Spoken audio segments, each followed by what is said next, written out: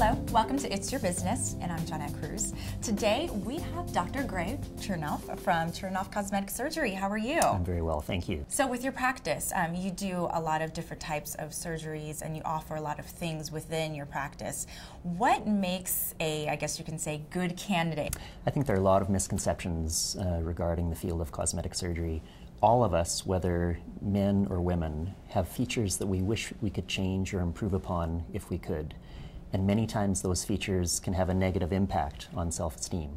And that's the main thing that we do at our office every day is to help patients with their own sense of self-esteem. That's great.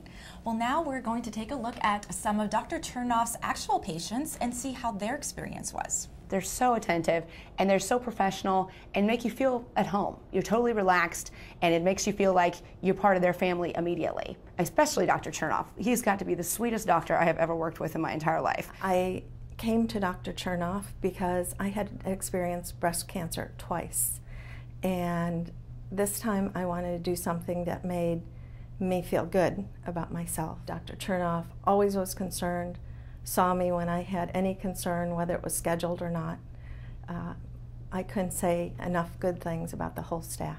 He did a very gentle approach with uh, lots of work, and um, I was really pleased with the outcome. And then after, um, after the surgery and post surgery, the caring and the compassionate attitude of all the people here made it much easier to heal and hold my hand through the whole experience. And if somebody's you know just new to this, they're kind of you know on that borderline trying to figure out if this is something they should move forward in doing. How do you suggest they go about in contacting you? Uh, they're able to find us on our website, drchernoff.com, uh, or they can come to our holiday bazaar on November the 18th at the Robert Ursay Pavilion from 11 a.m. to 8 p.m. Mm-hmm. It's a great way to get information.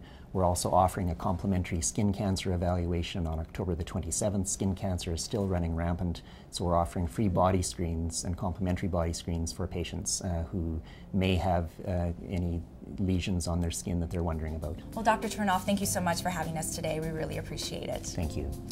I'm Johnette Cruz, and thank you for watching It's Your Business.